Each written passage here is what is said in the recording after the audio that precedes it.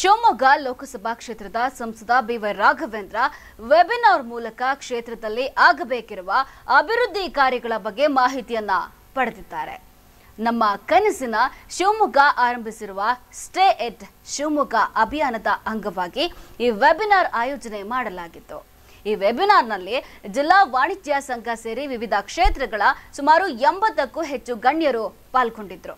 ಇನ್ನು ಪ್ರಮುಖವಾಗಿ ಶಿವಮೊಗ್ಗ ಜಿಲ್ಲೆ ಸರ್ವತೋಮುಖ ಅಭಿವೃದ್ಧಿಗೆ ಆಗಬೇಕಿರತಕ್ಕಂತ ಪ್ರಮುಖ ಕಾರ್ಯಗಳು ಅನುಷ್ಠಾನಗೊಳ್ಳಬೇಕಿರುವ ಯೋಜನೆಗಳ ಬಗ್ಗೆ ಮಾಹಿತಿಯನ್ನ ನೀಡಿದ್ರು. ಶಿವಮೊಗ್ಗ ಸ್ಟೇಷನ್ ಡೆವಲಪ್ಮೆಂಟ್ ಕೂಡ ನಾನು ಮಾಡ್ತಾ ಇದ್ದೇನೆ. ಸೊ ಬರುವಂತ ದಿನದಲ್ಲಿ ನನಗೆ ಇವತ್ತು ಕೂಡ ನನಗೆ ನೆನಪಿದೆ, ನಮ್ಮ ಸಿದ್ಧಗಂಗಾ ಸ್ವಾಮೀಜಿಯವರು ನೂರ ಏಳನೇ ವರ್ಷ ಆಶೋಧನ ತೆಗೆದುಕೊಡ್ಲಿಕ್ಕೆ ನಾನು ಹೋಗಿದ್ದೆ. ಎಲ್ಲಿ ತುಮಕೂರು ಮಠಕ್ಕೆ ಹೋದಾಗ, ಅವರು ಅಂತ ಸಂದರ್ಭದಲ್ಲೂ ಕೂಡ ಇವತ್ತು ಕೂಡ ಅಂಥೇಳಿ ನಂಗೆ ಆಶೋಧನ ಮಾಡಿ ಕಿವಿ ಮಾತನ್ನು ಹೇಳಿದ್ರು. ಆದರೆ ಇವತ್ತು ತಮಗೆ ಗೊತ್ತಿರಲಿ, ನಮ್ಮ ಶಿವಮೊಗ್ಗದಲ್ಲಿ, ನಮ್ಮ ಹೊಳೆಯನ್ನೂರು ಹತ್ರ ವಿದ್ಯಾ, ಏನು ವಿದ್ಯಾನಗರ ಸ್ಟೇಷನ್ ಏನಿದೆ, ರಾಷ್ಟ್ರೀಯ ಹೆದ್ದಾರಿಯಿಂದ ಸುಮಾರು ಅದಕ್ಕೆ ಮೂವತ್ತು, ಮೂವತ್ತೆಂಟು ಕೋಟಿ ಬೇಕಾಗುತ್ತೆ. ಮೂವತ್ತೆಂಟು ಕೋಟಿ ಬೇಕಾಗುತ್ತೆ. ಅಲ್ಲಿ ನಾನು ಪ್ರಾರಂಭ ಮಾಡುವಂಥ ದಿಕ್ಕಿನಲ್ಲೂ ಕೂಡ ಈಗ ಆಲ್ರೆಡಿ ಗಮನವನ್ನು ಕೊಡ್ತಾ ಇದ್ದೀನಿ. ಇನ್ನೊಂದು ನಿಮ್ಗೆ ಗೊತ್ತಿರ್ಬೋದು, ಎಷ್ಟು ವರ್ಷದ ಕನಸು. ನಮ್ಮ ರೈಲ್ವೆ ಸ್ಟೇಷನ್ ಮುಂಭಾಗದಲ್ಲಿ ರಿಂಗ್ ರೋಡ್ ಕಟ್ ಆಗಿಬಿಟ್ಟಿತ್ತು. ಕಂಟಿನ್ಯೂಟಿ ಇದ್ದಿದ್ದಿಲ್ಲ. ಸೊ ವಾಪಸ್ ಬಂದಿದ್ದಾರೆ.